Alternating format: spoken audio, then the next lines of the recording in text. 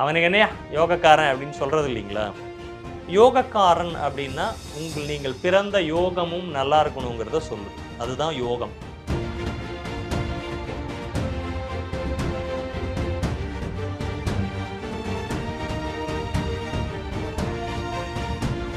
சித்த யோகம் மரண யோகம் அமிர்த யோகத்துக்கும் நம்ம சொல்கிற இந்த பஞ்சாங்கத்தில் ஐ நாலாவது அங்கமாக வரக்கூடிய யோகத்துக்கும் சம்பந்தம் இல்லை.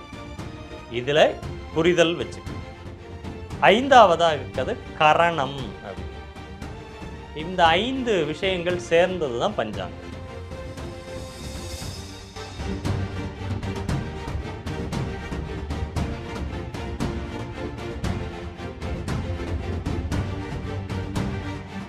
திதே அஸ்து ஐஸ்வர்யமாப்னோதி ஒருவர் பிறந்த திதியை பிடித்து கொண்டால் திதிக்குண்டான தெய்வத்தை வழிபடுவதால் அந்த திதியில விரதங்களை மேற்கொள்வது இதனால் ஐஸ்வர்யமாப்னோதி.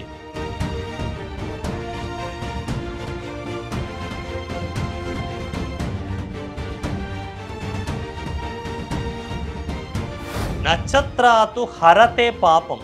நட்சத்திராத்து ஹரதே பாபம். நட்சத்திரம் பிறந்த நட்சத்திரம் தான். இப்பதான் நான் ஐயாவினுடைய அந்த மெய்மொழி சொன்னேன். நட்சத்திரங்களின் வழியே கொடுக்கும் ஆற்றல் என்பது நமது கர்ம பதிவுகள்னு சொன்னார்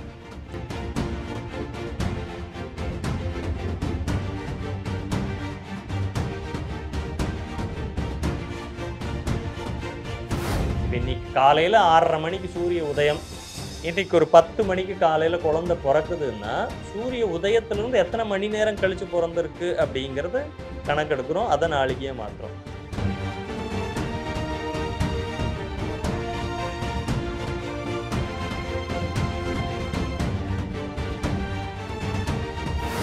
ஸ்ரீ குருப்பியோ நம பூஜ்யாய ராகவேந்திராய சத்யதர்மரதாய பஜதாம் கல்பவக்ஷாக நமதாம் காமதேனுவே.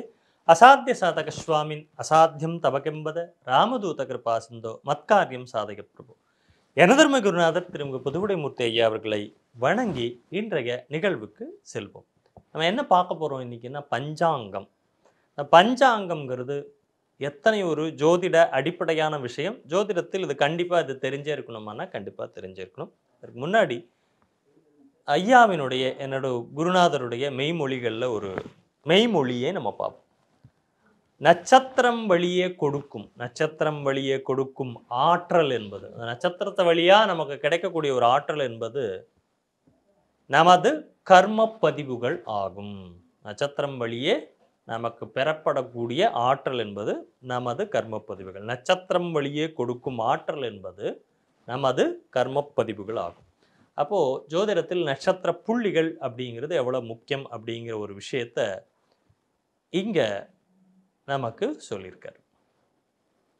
எண்ணங்களின் வலிமையே எண்ணங்களின் வலிமையே ஒரு மனிதனை உருவாக்குகிறது. எண்ணங்களின் வலிமையே ஒரு மனிதனை உருவாக்குகிறது. ஆனால் கிரகங்கள் வெளிவிட்டால்தான். ஆனால் கிரகங்கள் வெளிவிட்டால்தான் எண்ணங்கள் தோன்றும். எண்ணங்கள் தோன்றது மாத்திரம் இல்லை எண்ணங்கள் ஈரேறும். இந்த ரெண்டுமே வந்து மெய்மொழிகள் ஐயாவினுடைய மெய்மொழிகள். பஞ்சாங்கம். ஜோதிடம் பல வகையான பிரிவுகளாக இருக்குங்க. கோலம் அப்படின்னு ஒன்று இருக்குது கணித ஸ்கந்தம் கோல ஸ்கந்தம் அப்படின்னு ரெண்டு பிரிவுகள். அதுக்கப்புறம் ஜாதக ஸ்கந்தம் அப்புறம் முகூர்த்தம் நிமித்தம். இப்படி ஆறு வகையாக இந்த ஜோதிடம் பிரிந்திருக்கு. கணிதம் அப்படிங்கிறது பார்த்தீங்கன்னா கால்குலேஷன் எல்லாமே கணக்கீடுகள். கோலம் அப்படிங்கிறது கோள்களை பற்றிய அறிவு ஜாதகம் என்பது இது இரண்டையும் வைத்துக்கொண்டு நம்ம நிர்ணயிக்கக்கூடிய விஷயம். அடுத்தது பிரஷ்னம் நாலாவது பிரஷ்னம்னா இப்போ கேட்கக்கூடிய ஒரு நேரத்திற்கு சொல்லப்படக்கூடிய பதில்களை நிர்ணயிக்கக்கூடியது. முகூர்த்தம் நிமித்தம்னு இப்படி ஆறு. இதில் இந்த முகூர்த்தம் அப்படிங்கிற விஷயத்துக்கு மட்டுமல்ல ஒரு ஜாதகம் உருவாகிறதுக்கு காரணமே எதுவாக இருக்குன்னா பஞ்சாங்கம் தான். பஞ்சாங்கத்தை வைத்துக்கொண்டு தான் நம்ம ஒரு ஜாதகத்தை கணிக்க முடியும். இன்றைய கோல்சார நிலைகள் இன்றைய திதி இன்றைய நட்சத்திரம் எல்லாமே பஞ்சாங்கத்தோட அடிப்படை. அப்போ பஞ்சாங்கம் அப்படிங்கிறது ஜோதிடத்தினுடைய அடிப்படை ஆதார நாதமாக விளங்குகிறது. இப்போ பஞ்சாங்கத்தில் ஐந்து அங்கங்கள் இருக்கு. எதுக்கு இந்த பஞ்சாங்கம் இன்னி முக்கியமாக பயன்படுதுன்னா முகூர்த்தம் அப்படிங்கிற பிரிவுக்கு இந்த பஞ்சாங்கம் பயன்படுது. முகூர்த்தம்னா கால நிர்ணயம் அல்லது காலத்தை சரியாக எனக்கு அனுகூலமாக பயன்படுத்துது. டைம் டியூனிங் எனக்கு அனுகூலமாக. என்னுடைய பிறப்பு என்னுடைய பிறப்பு லக்னம் என்னுடைய பிறப்பு ராசி என்னுடைய பிறப்பு விஷயங்களுக்கு தகுந்தாற் போல் ஒரு நாளை பயன்படுத்தி அதில் நல்லைவுகளை செய்வது அல்லது வெற்றியை காண்பதுங்கிறதுக்கு பஞ்சாங்கம் ரொம்ப அடிப்படையாக தேவையாக இருக்கு. ஸோ பஞ்ச அப்படின்னா ஐந்து. பஞ்சன்னா ஐந்து. அங்கம்னா உறுப்புகள். இப்போ நமக்கு உடம்பு இருக்குது உடம்புல எப்படி உறுப்புகள் இருக்குது கை கால் காது மூக்கு எல்லாம் உறுப்புகள் தான். இந்த உடல் அப்படிங்கிற ஒரு விஷயத்தில் இருக்கக்கூடிய உறுப்புகள் மாதிரி பஞ்சாங்கம்னா ஐந்து அதுக்கு இருக்கக்கூடிய அங்கங்கள் உறுப்புகள்ங்கிறது பஞ்சன்னா ஐந்து உறுப்புகள். ஐந்து உறுப்புகளை கொண்டது. என்னென்ன இருக்குதுல? ஒன்று வாரம் அதாவது கிழமையை சொல்லக்கூடியது வாரம். ரெண்டாவது திதி. திதி அப்படிங்கிறது நாள் கணக்கீடை குறிப்பிடுவது தான் திதி. மூன்றாவது நட்சத்திரம். மூன்றாவது நட்சத்திரம். நான்காவது யோகம். யோகம்னா சித்த யோகம் மரண யோகம். அதே போல் நம்ம ஜாதகத்துல எல்லாம் சொல்றாங்க கஜகேசரி யோகம் குருமங்கள யோகம் சந்திரமங் அந்த யோகம் கிடையாது அது. சித்த யோகம் மரண யோகமும் கிடையாது. இந்த யோகம்ங்கிறது சூரியனுக்கும் சந்திரனுக்கும் இடையில் இருக்கக்கூடிய அந்த பாகை முறையினுடைய கணக்கீடு தூரத்தை கணக்கிட்டு அதனுடன் தொண்ணூற்றி மூணு புள்ளி இருபது அப்படிங்கிற ஒரு கூட்டு இதை கூட்டி அதன் மூலியமாக கண்டுபிடிக்கக்கூடிய ஒரு பாயிண்ட் ஒரு புள்ளி மையப்புள்ளி அது யோகம். எல்லார் ஜாதகத்திலும் அப்படி தான் கணக்கிடுறாங்க. ஒவ்வொருத்தரும் ஒவ்வொரு யோகத்தில் இதை நாம யோகம் அப்படின்னு இதை கூப்பிடுவாங்க. அவனுக்கு என்னையா யோகக்காரன் அப்படின்னு சொல்கிறது இல்லைங்களா? யோகக்காரன் அப்படின்னா உங்கள் நீங்கள் பிறந்த யோகமும் நல்லா இருக்கணுங்கிறத சொல்லுது. அதுதான் யோகம். அப்போ உங்களோட லக் உங்களோட அதிர்ஷ்டம் தான் யோகம். யோகம்னா இன்னொன்று சந்நியாச யோகம் இருக்குது பரதேசி யோகம் இருக்குது எல்லாமே யோகம் தான். பட் இந்த யோகமும் அதுவும் வேறு அப்படிங்கிறத புரிஞ்சுக்குங்க. சித்த யோகம் மரண யோகம் அமிர்த யோகத்துக்கும் நம்ம சொல்கிற இந்த பஞ்சாங்கத்தில் ஐ நாலாவது அங்கமாக வரக்கூடிய யோகத்துக்கு சம்மந்தம் இல்லை. இதில் புரிதல் வச்சுக்கோங்க. ஐந்தாவதாக இருக்கிறது கரணம் அப்படின்னு. இந்த ஐந்து விஷயங்கள் சேர்ந்தது தான் பஞ்சாங்கம். என்னங்க பலன் இதனால் அப்படின்னு கேட்போம். திதே அஸ்து ஐஸ்வர்யமாப்னோதி. ஒருவர் பிறந்த திதியை பிடித்து கொண்டால் திதிக்குண்டான தெய்வத்தை வழிபடுவதால் அந்த திதியில் விரதங்களை மேற்கொள்வது இதனால் ஐஸ்வர்யமாப்னோதி உங்களுடைய பொருளாதார மேன்மையை உருவாக்கும். வாராத் ஆயுஷ்யவர்தனம். நீங்கள் பிறந்த கிழமை இருக்கு பாருங்க. இந்த கிழமையினுடைய அதிபதி அதற்குண்டான தேவதையை வணங்குதல்ங்கிறோம். அதை பிடிச்சிக்கிட்டோம்னா ஆயுள் விருத்தி ஆயுசு விருத்தியாகும். நட்சத்திராத்து ஹரதே பாப்பம் நட்சத்திராத்து ஹரத்தே பாப்பம் நட்சத்திரம் பிறந்த நட்சத்திரம் தான். இப்பதான் நான் ஐயாவினுடைய அந்த மெய்மொழி சொன்னேன். நட்சத்திரங்களின் வழியே கொடுக்கும் ஆற்றல் என்பது நமது கர்ம பதிவுகள்னு சொன்னார். அதுதான் இங்கே இந்த பஞ்சாங்கமும் சொல்லுது. நட்சத்திராத்த ஹரத்தே பார்ப்போம். பாப வினை புண்ணிய வினை நல்ல வினைகள் தீய வினைகள் ரெண்டு. நம்மளுடைய வாழ்க்கையில் எல்லார் வாழ்க்கையிலையும் இருக்கு இல்லையா? நல்லதும் செஞ்சுருப்போம் ஒரு பக்கம் கெட்டதும் செஞ்சுருப்போம். ஒரு பக்கம் திட்டியிருப்போம் ஒரு பக்கம் கொஞ்சிருப்போம். ஒரு பக்கம் தட்டி கொடுத்து போயிருப்போம் ஒரு இடத்துல தட்டி விட்டுருப்போம். தட்டி கொடுத்து அவருக்கு வாய்ப்பை உருவாக்கியிருப்போம். ஒரு இடத்துல என்ன பண்ணியிருப்போம்னா அவனுடைய வாய்ப்பை நம்மளே தட்டி விட்டுருப்போம். சரி ரெண்டுமே இருக்குது அப்போ இதுதான் கர்ம பதிவுகள். நம்ம ஒரு விஷயமாக நடத்த நடத்த ஏற்படக்கூடிய இதுதான் கர்ம பதிவு. இதுக்கு காரணம் நட்சத்திரம். இந்த நட்சத்திரத்தில் நாம் விரதமோ அந்த நட்சத்திரத்துக்கு உண்டான தெய்வத்தையினுடைய வழிபாடுகளை செய்ய ஹரத்தே பாபம் உங்களுடைய கர்ம வினையை குறைக்கலாம். குறைக்கலாம் அவ்வளோதான் யோகாத்து ரோக நிவாரணம். யோகம். நம்ம பிறப்பு யோகம் இருக்குது நிஷ்கம்பம் பிரீத்தி ஆயுஷ்மான் சௌபாகியம் அப்படின்னு இருபத்தேழு யோகங்கள். இதில் நம்ம ஒரு யோகத்தில் பிறந்திருப்போம் இல்லையா? அந்த யோகத்தை பயன்படுத்தினால் ரோக நிவாரணம் வியாதி எப்போ பார்த்தாலும் வீட்டில் படுத்திட்டே இருக்கியா? நோய் நொடி. அப்போ அந்த யோகத்தை பிடித்து கொண்டு அந்த யோகத்திற்குண்டான தெய்வங்களை வழிபடுவது முன்னால் வியாதிகள் நிவர்த்தி அடைவோம். அடுத்தது கரணம். கரணாத் காரிய சித்திஞ்ச. கரணத்தை கரணம் தான் காரியம். கரணத்தோட அடிப்படையில் தான் ஒருவருடைய தொழில் சம்பந்தப்பட்ட விஷயங்கள் அவருடைய ஜீவனம் அவருடைய நிஜமான விதி படிப்பு என்னங்கிறத வந்து இந்த கரணத்தை வைத்து சொல்லிவிட முடியும்னு ஜோதிடம் சொல்லியிருக்கு. இந்த ஐந்து அங்கங்கள் தான் பஞ்ச அங்கங்கள் அப்படின்னு சொல்லுது. நமக்கு தெரியும் ஏழு கிழமைகள் இருக்குது வளர்பிறை பதினைந்து திதி தேய்பிறை பதினைந்து திதி. வளர்பிறை பதினைந்து திதி தேய்பிறை பதினைந்து திதி இது முப்பது நாட்கள். இருபத்தேழு நட்சத்திரங்கள் இருபத்தேழு நட்சத்திரங்கள்.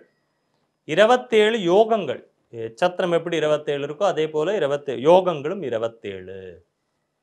பதினோரு கரணங்கள் கரணம் மாத்திரம் பதினொன்று இந்த கரணம் என்பது ஒரு திதியினுடைய பாதி. ஒரு திதிங்கிறது ஒரு பன்னிரெண்டு பாகை அதாவது டிகிரி. அப்போதில் ஆறு பாகை வந்து திதி. அப்போ ஒரு நாளைக்கு இரண்டு கரணங்கள் வரும். ஒரு நாளைக்கு ஒரு திதி இருக்கும் இரண்டு கரணங்கள் வரும். ஒரு சில நாட்கள் வந்து காலையில் ஒரு தித்தி மத்தியானத்துக்கு மேலே ஒரு திதிங்கிறதெல்லாம் வரும். ஸோ இது திதிகள் இதெல்லாம் தான் பஞ்சாங்கம் அப்படிங்கிற ஒரு விஷயத்தை குறிக்குது. அடுத்ததாக எல்லாருக்கும் இந்த பஞ்சாங்கம் அப்படிங்கிறது எளிமையான ஒரு புரிதலுங்க.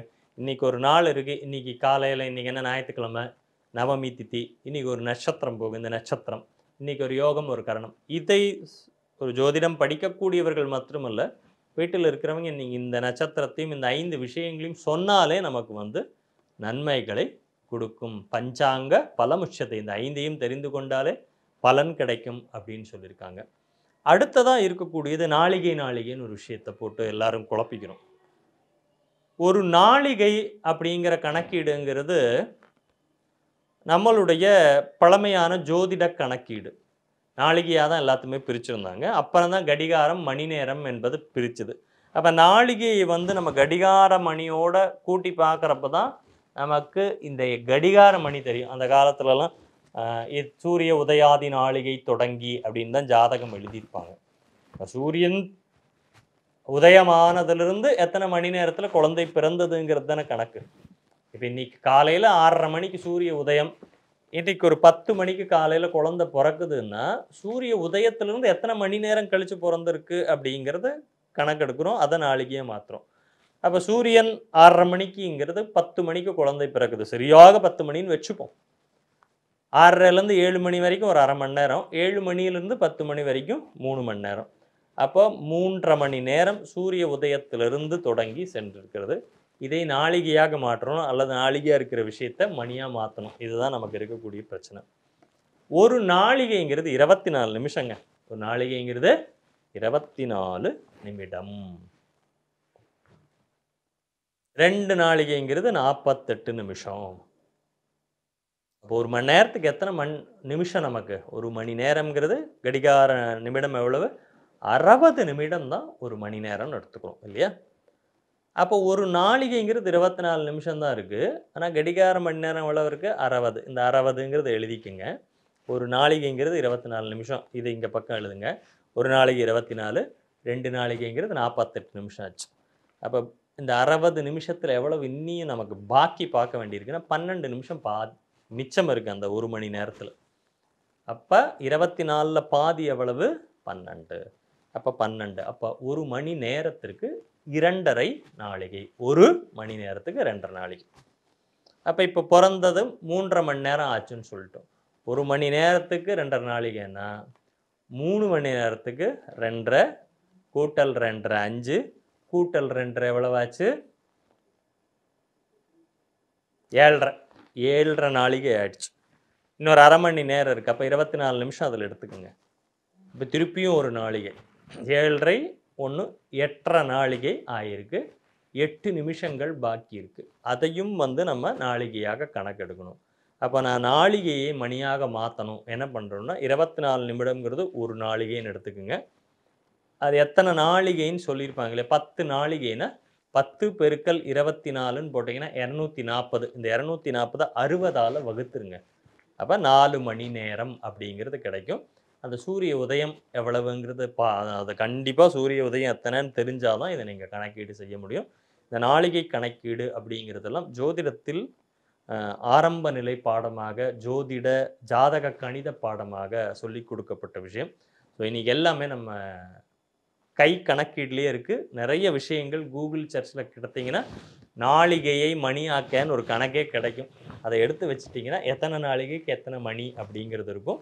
அதை நம்ம அட்ஜஸ்ட் பண்ணி கண்டிப்பாக அந்த பிறந்த நாளிகையை கண்டிப்பாக நம்ம கணக்கீடு செய்ய முடியும் முடியும்.